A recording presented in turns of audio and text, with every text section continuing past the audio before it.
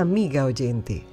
Cada día te desafío a recibir esta poderosa identidad que desaloja los miedos, sin miedos ni cadenas.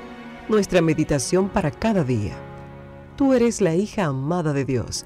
Permite que su amor destruya tus miedos y pulverice tus cadenas.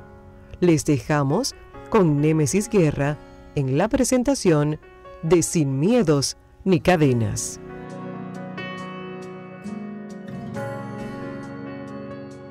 Buen día, para hoy primero de julio nuestra devoción tiene por nombre reservado. Samuel dio instrucciones al cocinero para que le sirviera a Saúl el mejor corte de carne, la porción que había sido reservada para el invitado de honor. Primera de Samuel 9:23.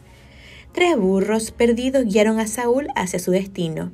Cis, el padre de Saúl, era un hombre rico de la tribu de Benjamín. Un día se le perdieron tres burros y envió a su hijo y a un siervo a buscarlos. Esta era una tarea común, nada glamurosa. Sin embargo, Dios usó la obediencia de Saúl para guiarlo al trono de Israel.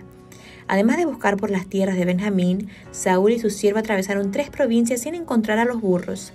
Cuando estaban a punto de darse por vencidos, el siervo sugirió visitar al profeta Samuel para ver si los podía ayudar. Aunque Saúl no sabía esto, el día anterior Dios le había dicho a Samuel que se preparara para ungir al rey de Israel. Siguiendo las órdenes del profeta, el cocinero preparó una comida especial y guardó una porción para que Saúl la comiera al día siguiente.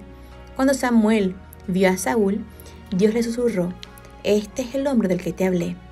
Entonces Samuel lo invitó a comer con ellos y le dio la porción que había reservado para él.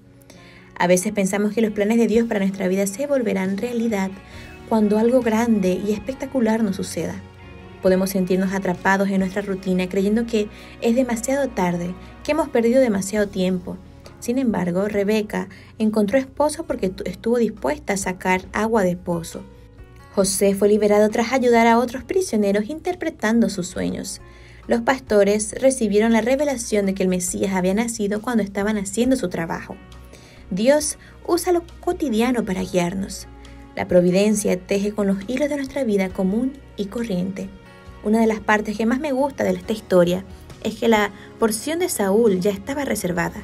Mientras él atravesaba la zona montañosa de Efraín y la tierra de Salisa, buscando por todos lados sin encontrar nada, su porción estaba reservada.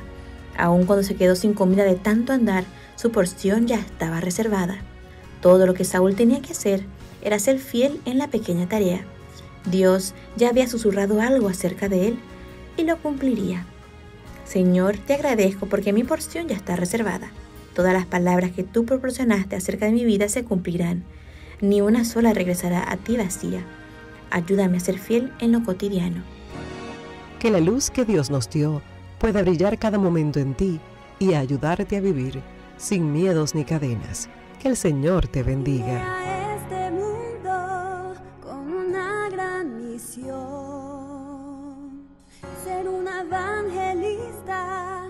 Ser una